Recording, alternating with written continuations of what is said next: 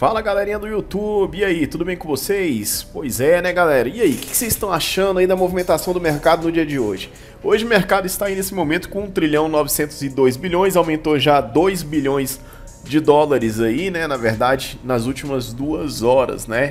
Se formos levar em consideração os últimos dois dias, pulamos de 1 trilhão 700 e pouco ali para 1 trilhão 904. Então é muito importante nós acompanharmos esse movimento. Vemos que Shiba Inu aí nesse momento está sendo cotada a 0.402457, apresentando uma alta de 10% aí nas últimas 24 horas.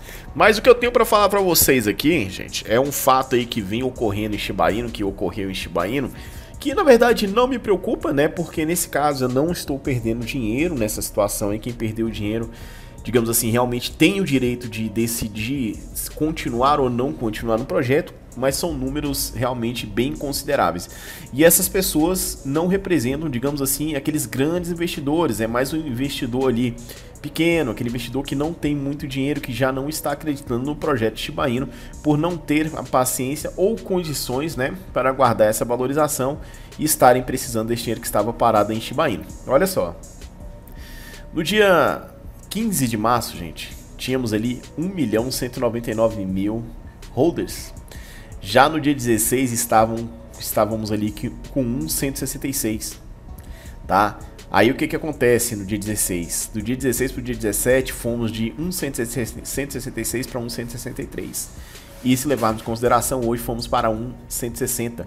Perdemos aí 30 mil holders de Shiba Inu ó, do dia 15 para hoje, né, dia 18. Então a situação em relação aos holders, pequenos holders aí, diminuiu bastante, né? Você vê aí que as pessoas estão saindo, pulando do barco até antes do movimento correto.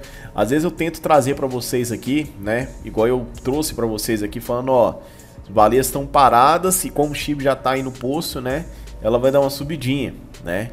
Eu estava esperando o chip batendo 19, mas não batendo 19 para poder fazer a entrada. Mas aí o que, que aconteceu? Isso aqui é o gráfico diário, né? O chip estava aqui, ó. Se você for pegar 15, ó, dia 16. Chip estava ali na casa dos 21 e pulou hoje para a casa dos 24,67.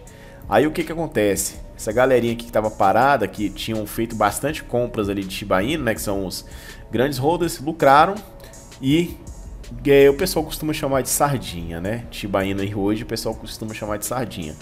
Sardinhas saíram, né, perdendo, não conseguiram pegar esse lucro aí de 10%. Aí o que que acontece? Hoje, você está vendo em Shiba fazer uma alta, né? Ó, você está vendo ela vir aqui fazendo um pico, né, batendo 24,67, ó. Ela já está em uma forte resistência, né?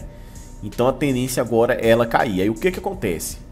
É, as sardinhas, os pequenos investidores, pequenos investidores não têm o costume de observar os dados para saber o que, que vai acontecer.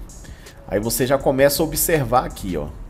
Venda de 20 milhões, venda de 11 milhões, 308 mil, 278 mil, 246 mil. Aí esse gráfico aqui, né, você vai vir agora ver ele retraindo um pouco, né? Você vai vir é, acompanhando a retração de Shiba Inu. Então, devido a não observar esses fatores aqui que estão ocorrendo, tá? De não ter o costume de olhar o gráfico, não ter o costume de vir aqui acompanhar as maiores carteiras Ethereum, é, você percebe que essas carteiras aqui estão aumentando e as pessoas não estão observando isso, estão abandonando o projeto antes do tempo. Aí você já tem aí Shiba Inu, na verdade, ó, já vindo aqui fazer a curva, né? Fazendo a curva de acumulação, né? Ela já está acumulando para pegar o próximo momento de valorização. Olha aqui, ó, vocês estão vendo? Se vocês analisarem bem, gente, ó, é como se isso aqui fosse um U. O U não tem a lateral esquerda, a parte de baixo e depois ele faz a lateral direita, primeira perna, segunda perna e, e a, a, digamos ali, você tem o piso, né? Como se fosse um, um quarto, parede esquerda, parede direita e o piso. Ela está aqui no piso.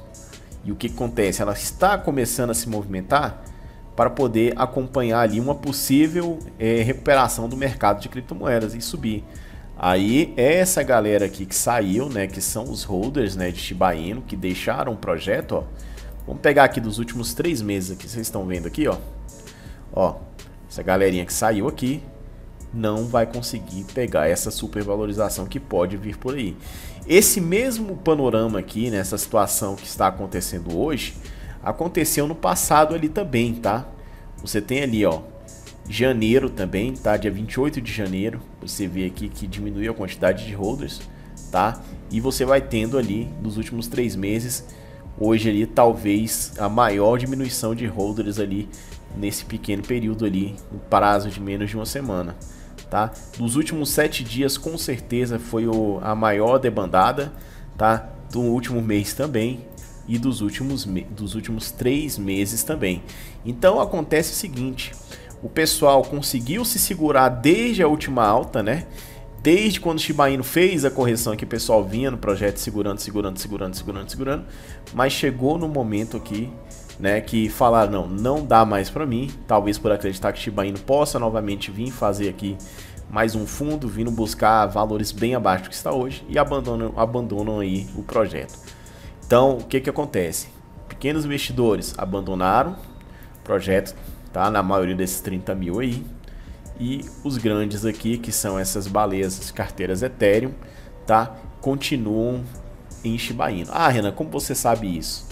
Porque se você vir aqui no Aid States, você tem aqui a informação de que Shiba ainda tem 14%, tá?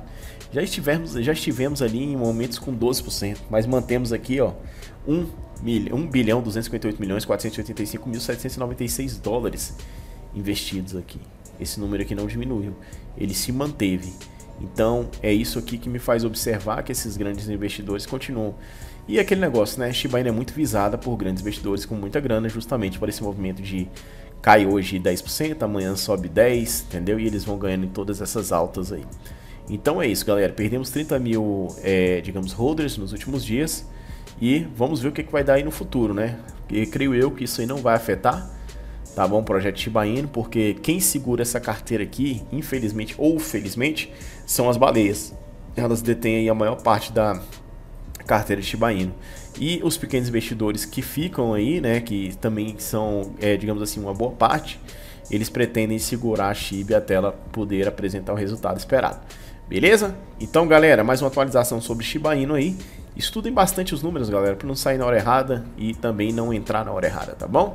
Assim você diminui o seu risco, né? Diminui as suas perdas e a gente vai caminhando aí tentando fazer algum trocadinho. Forte abraço para vocês até o próximo vídeo.